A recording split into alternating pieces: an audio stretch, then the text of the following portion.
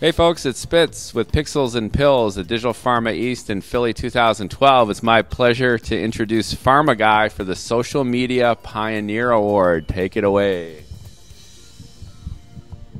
Thanks, Spitz, uh, for doing this, for having us here. Uh, this is the third annual Pharma Guy Social Media Pioneer Award, which involves giving away this uh, famous uh, Hawaiian shirt which I think I wore at one of these, one of the first one of these EXL conferences to stand out from the crowd. And so now it's become a symbol of how uh, pharmaceutical marketers uh, who have stood out in the crowd of uh, those trying to do social media and done something interesting with social media.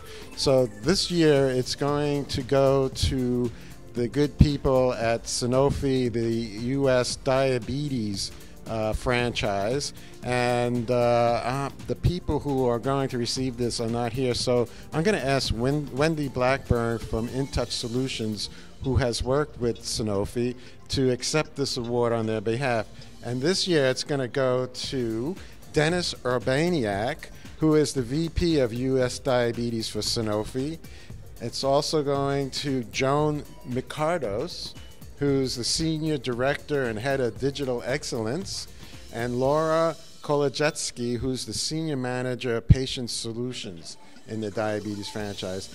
And I think uh, the reason why I chose uh, this team is because they've uh, come a long way from when uh, they had some problems with Facebook and uh, they've overcome that and they didn't give up and they kept at it. And now uh, they're mostly recognized as leading uh, doing some really good things. And maybe wendy can talk a little bit more about that. Sure. Thanks john. I'm really excited to, to accept this lovely shirt on their behalf. I look forward to all three of them kind of fighting over it um, but you know, we've really enjoyed working with Sanofi over the years because they always have been such visionaries in the social space. They have learned lessons along the way. They have shared those learnings with the with the community, and and I really love the fact that they not are only engaged in social media for the right reasons. They're doing it the right way. They have a face out there. They engage with their community, um, but then they also do share those successes and share share all their learnings with the industry at conferences like this. So uh, it's very well deserved, and I'm I'm flattered and honored on their behalf to accept the the Pharma Guy Award.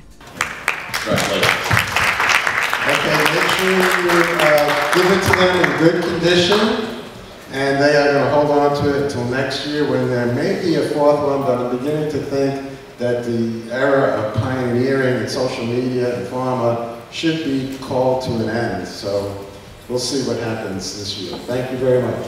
Thank you, John.